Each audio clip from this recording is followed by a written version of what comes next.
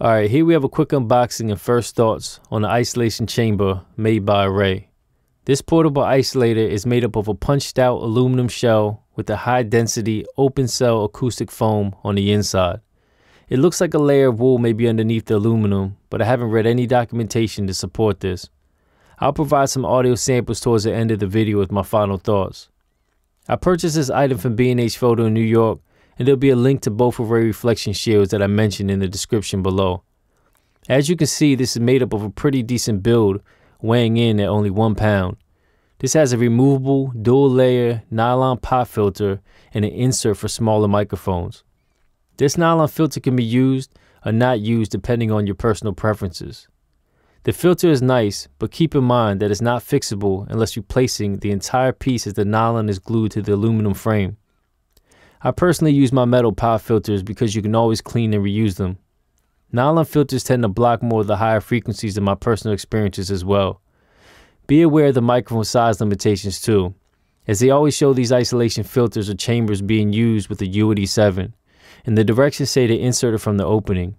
With this particular chamber, I find that the slate VMS is too long, so I have to insert it from the bottom. This mic has no switches and has a smooth finish to the top so it slides in pretty easy. If you're worried about the mic and have no switches, you could always place a piece of plastic wrap to protect it and remove it once it's in the correct position. Once finished, you can slide in the nylon filter, then tighten the screw if you plan on using that filter or just use your metal pop filter instead. This is a great portable option for someone like myself using a boom arm in a limited space with a low ceiling. I have the ultimate stand on wheels and have the boom extended horizontal so I can't utilize my SE reflection filter correctly at a usable distance.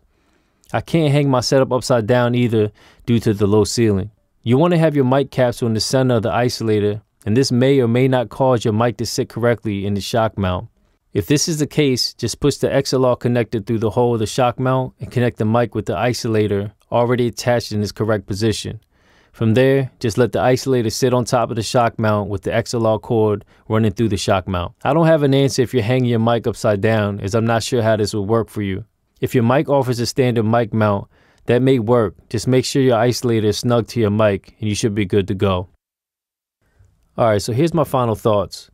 I find this particular chamber to sort of emphasize the vocals by focusing it or bringing it more to the front.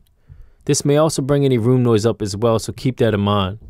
It does do well at reducing room noise as far as reflections go, but it won't completely eliminate them, and this will vary depending on your space, sound source, or input volume of that sound source. My space is not acoustically treated except for some acoustic foam in random places like most people. This helps, but I don't have any bass traps which are essential in treating your space. The punched out aluminum is supposed to help out with some of those low to mid frequencies, but there's no true replacement for a professionally treated space, so keep that in mind. This will reduce more of the higher frequency reflections as most reflection filters do. They claim to have zero coloration, but even SE filters don't claim 100% color free. I will say that the low and high frequencies are generally boosted with any reflection filter, causing you to make some EQ adjustments, and that's by any brand or manufacturer. I find that due to having the microphone in such a tunnel like setting, that while it does boost the frequencies I mentioned, it can also boost some unwanted frequencies in the sibilance range depending on its source. For what this is at only $74.99, I think this is an excellent investment alternative to a traditional reflection shield or a Kaotica eyeball type of tool. At this price and $49.99 for the lower end option called the Auray ISO Bubble, which is pretty much very similar to Kaotica eyeball. I think this will be a great option and reduce the need for do-it-yourself projects or spending two to four hundred dollars or even more on a larger reflection filter option. Now, if you just want the best, treat your room or purchase a higher end reflection shield. If you want to save money, be more portable while greatly increasing the sound of your vocals in your home or small studio, then this is for you. Now, if this was helpful at all, please hit like and subscribe or visit www.howtoandreviews.com. Till next time. This is without the Auray. All I have is a metal pop filter in front of the microphone about six inches away. This is how I normally would set up the audio in this particular space. It's not an ideal space at all. There is some acoustic foam, but there is not bass traps really in here.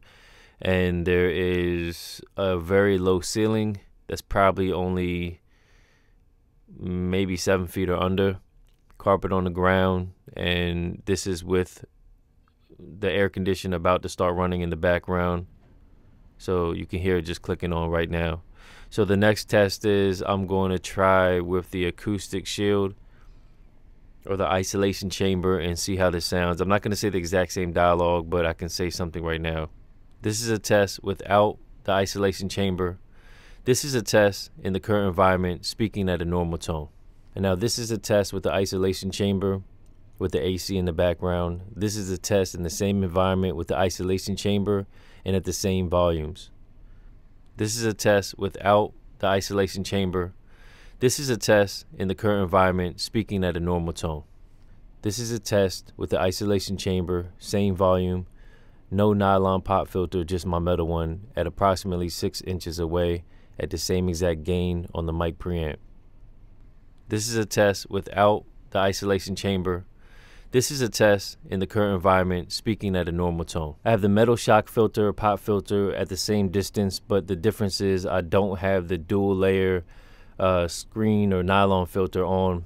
I find by using that, it uh, kind of dulls the sound even more. I know this is kind of telefocused or focused inside of this chamber, so kind of emphasizes certain things.